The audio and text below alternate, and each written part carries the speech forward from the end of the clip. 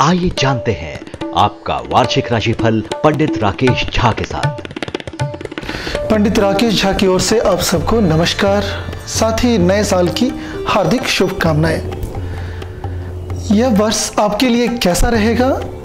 इस बारे में हम बात करेंगे। उससे पहले आपको बता दें कि इस साल की शुरुआत ही दो अशुभ ग्रहों के राशि परिवर्तन के साथ होने जा रहा है।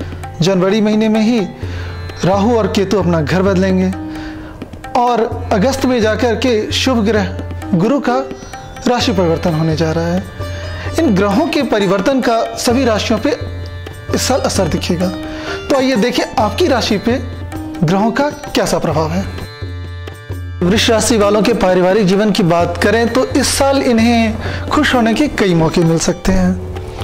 जो दंपति संतान सुख की चाहत रखते हैं, उन्हें इस साल संतान सुख की प्राप्ति हो सकती है। जिन्हें संतान है, उन्हें संतान पक्ष से कुछ अच्छा सुनने को मिलेगा। परिवार में आपसे तालमेल बढ़ेगा, लेकिन माता की सेहत को लेकर आपकी चिंता बढ़ सकती है।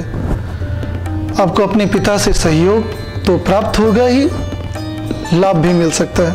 तो पिता के साथ तालमेल बनाए रखें, आपके लिए फ़ायदेमंद रहेगा।